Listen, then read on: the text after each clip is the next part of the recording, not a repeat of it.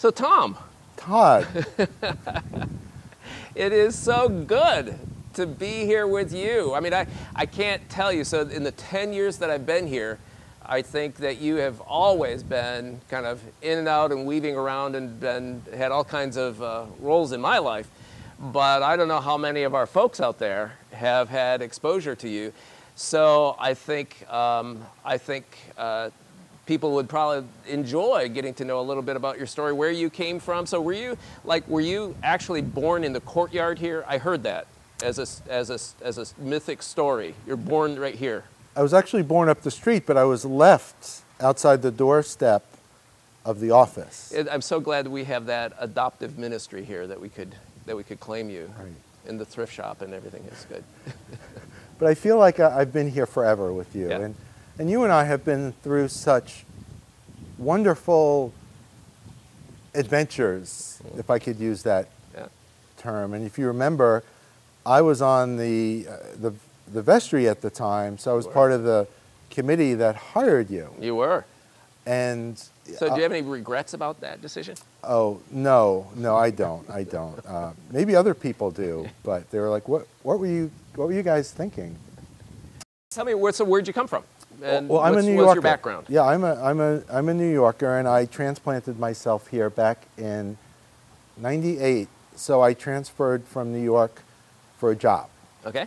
I said I would be down here for just a few years, do my job, and then go back to New York. But something happened, and I met my wife, Kristen, who's over there listening to us, and I never went back. And, and, and meeting my wife was just, just the joy of my life. Mm-hmm. Tell us a little bit about your about your um, about your job, your career, vocation.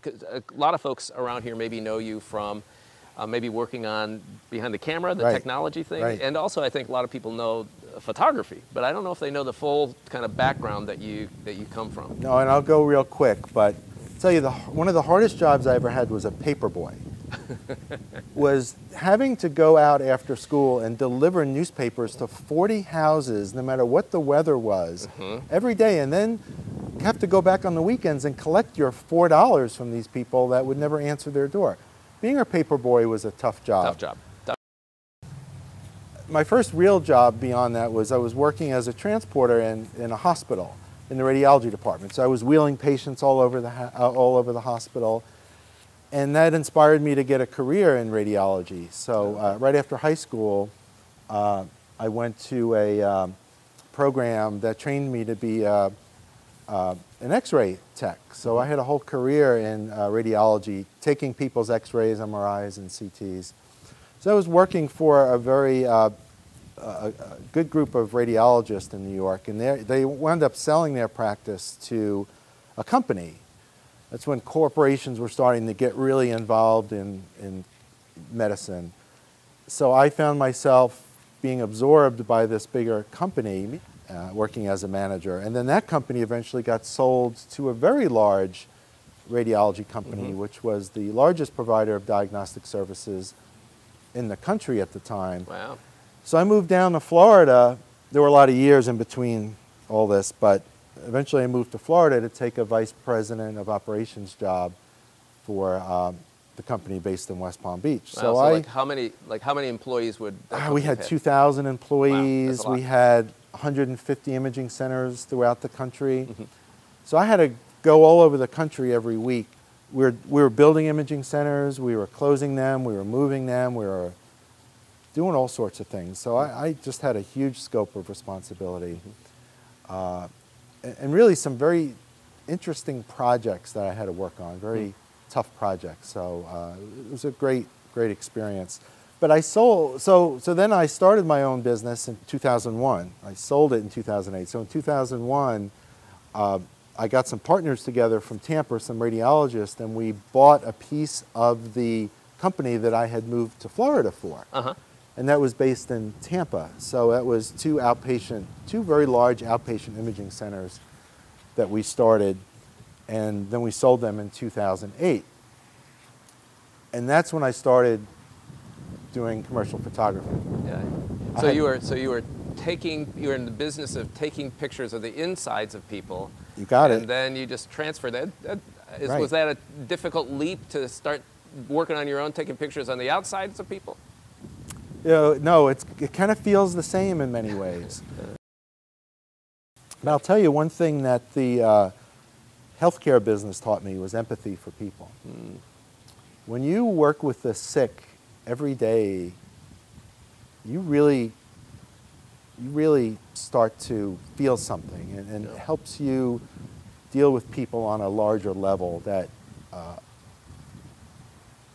translates into how I interact with people today. Is that it? I feel like I have empathy for people, and uh, It's a different, it's a different level, isn't it? yeah, it, yeah, it really is. So then, talk a little bit about why. So you got this, you got this, uh, you got this business. You're on your own. You run your own schedule. You do your own thing in terms of in terms of photography. And I know you. took so you were the guy who came and took shots of me when Right. you know when I first got my job Right. here. You took the picture of the bishop when. You took the picture of the bishop when he was elected here. Right, So you, right. you know, a lot of professional photography, uh, uh, you know, your own schedule and your own stuff. So why, why would you want to come and, and work in, in an administrative office for a church? I mean, you've been on the vestry, you've seen all of the kinds of, all different kinds of things, challenges that churches face. Why would you want to come and do that? That's a very good question. I love it here. I love St. Mary's. I loved it since the day we came here 15 years ago. I'm comfortable here. This, this feels like an extension of my home. And when COVID came around, I was here a lot. Yeah. It gave me comfort to You work were. on these Yeah, special projects that we had to work on. So really the answer is I love it. And the job that you have given me uh, touches all of my skill sets.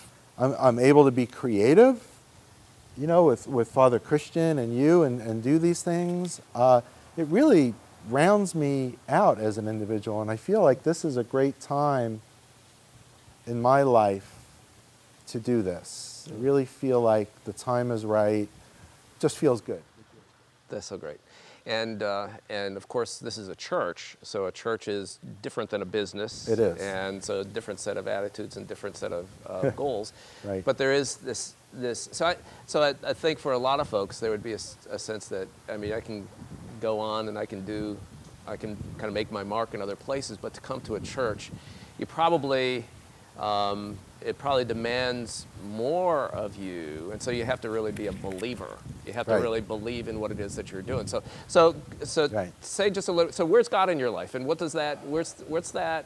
What's that deeper calling for you? Yeah, so um, God has been in and out of my life over the years. As a, as a young boy, I, was, uh, I went to a Catholic elementary school, Catholic high school, a Catholic college. So it's always been one way or another, uh, God has one way or another been in my life. Um, but not, not as much as it is today. And I feel I feel more connected with people, with God, and more connected with things than I ever have. And working here at the church benefits so many people. It just doesn't benefit me and you, just all the lives that touch folks here at St. Mary's. Yep. So, you know, I feel if I can do my job well, it benefits so many people. Yeah, and, it, and, and it will, it's, it's a vessel for bringing God and happiness into people's life. So, Tom, tell me about. So, everybody has to have a navigating system, you know, for you know, for how they for how they run their life and, and run their career. So, what are some core beliefs for you? Some things that really keep you uh, kind of uh, focused and moving forward. That's, a, that's great. Uh, it's a great question. Um, I, I try to, first of all, have a good time with whatever I do today. You know, not, not let it weigh so heavy on me. Yeah. So whatever I touch, and, uh, uh, and, and Chris and I certainly value that together. We try to enjoy and have a good time with whatever we do. So he's a great partner in that, in that crime right there. You know, I feel that people should be more real than right. You know, it's not, you don't have to be right all the time. Just be, be kind of true to yourself, you know. Um, I also feel it's good to lighten the loads of others. Mm-hmm. You know, just what can I do to, to take that load off you? And I'm talking more uh, professionally here and as a manager, but Among also some of it, Okay. yeah, some of it applies to myself. You know, lighten the load, lighten the load of others around you. You know, um, I like to make all members of our team feel as important as they truly are, because we have well, we have a great campus here. It's wonderful. We're, we're so blessed. But it's the people, the people that work here, the people that volunteer, and the people that worship here, are really what makes this place special. And all the unique personalities that are in this church. And for those of you listening, you know who who you are. Um, I don't like to be, I don't like to be controlling either as a, as a manager. I think when you're too controlling, it kind of limits creativity or, or the growth of others, you know. And um, I think it's okay to fail too. God knows we've had our share of failures over the last few months here in, in doing our Some more notable than others. Right, right, and and you know it's just kind of it's kind of fun to just laugh at that. Oh, that was terrible, you know. uh, so I, I think you have to give space to allow people to fail. Yeah. Let, it's okay, just try it. It Doesn't work out, it doesn't work out, you know. Then the other core core belief, I, I think you have to think critically. To be a critical thinker in your really in everything you do, Mm-hmm. you know, and so, and that's a skill I've learned later in life is just to be able to look at a situation and is that is that is that the way it should be, you know, that type. Of Mhm. thing. So, so yeah, so those are some of my beliefs, and um, uh, you know, I hope to share them and kind of instill them in in the staff as we move forward here. I think it's really great. Uh, you know, as we move forward, those those kind of governing values will be great for for working with the staff. Certainly, continuing to build with the staff uh, the kind of community that we have, but also um, the vestry because you Right. serve on the vestry Right. and support the vestry and what they do, and other Right. key parish leaders. You know, all of those things are so so uh, you know critically important for us to continue to kind of just kind of lighten the load and allow people to fail because it's you know it's as you fail you learn and you create new You do. opportunities for the future. You do, Well, yeah. Tom, I could not be happier than having you come and and uh, and join us. And I've been thinking about this and praying this about this for a long time, so I can't I, I couldn't be happier.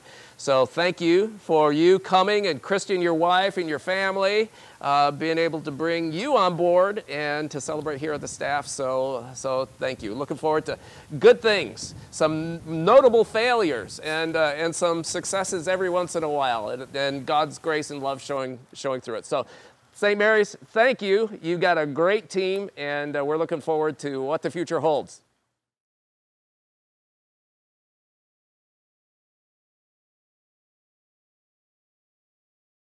You know, there are these, there are some of these interesting things. So it's kind of like uh, you kind of look around, and then you you you kind of realize, well, that's kind of odd.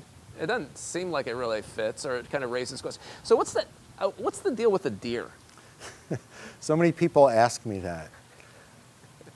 The deer was a gag gift. It was one of those Secret Santa gifts from years ago that we had in the closet. And when COVID shut us down, we, you or me or Christian and I, were pretty much the only ones in the service. And Kristen said, Well, why don't you bring in the deer? I think that was your idea. So I said, Well, that's a good idea. And Christian and Todd needed someone to talk to, preach to. Otherwise, it's a bunch of empty chairs. So I said, Here comes Bucky. So next thing you know, Bucky's showing up at the services. So you have you are Christian, Bucky, and that's it in an empty in an empty room. So Bucky helped us fill kind of a void, and now he's just become the CFW mascot. Um, He's become a very good friend. He wanted his own office, by the way. Did he? But yeah, we couldn't. He could have your that. office. Do you want? do you Maybe, want- yeah, he could hop around. Yeah. But you know, the funny thing is when I watch the feed on Facebook or YouTube, and I've seen it more than one time, some of Father Christian's friends would say, that was a great sermon, Christian, but Where's the reindeer? the one that I, really have seen that many times on the online comments. So, so that's the story of Bucky. I don't know how long he'll last, but we'll, we'll try to keep him patched and going. So here on the St. Mary's campus, um, deer hunting is forbidden. We do not. We have to keep. We have to keep Bucky safe, and uh, and Bucky is a very good friend of ours. So uh, so treat him well. Thank you, Todd. Thank you, Tom.